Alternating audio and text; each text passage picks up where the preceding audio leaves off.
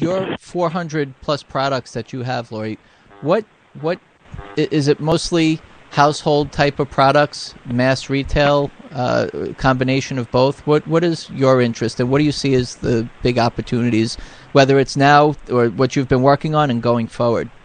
Well, my range has been extremely broad. I mean, anything from usually the type of products that I've created and the type of products that interest me are things that people need uh, more so than something that is just a want.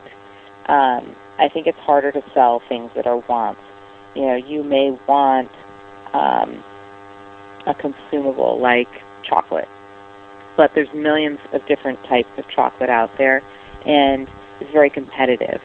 So when you solve an I need, like uh, something that's a problem that somebody has, and they need a solution to it, that's much more um, it's more something that people will gravitate to and buy.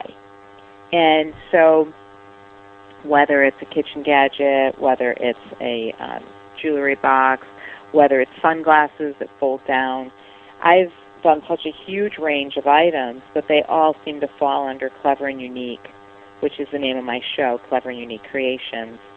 Um, I seem to find that to be a good model to follow.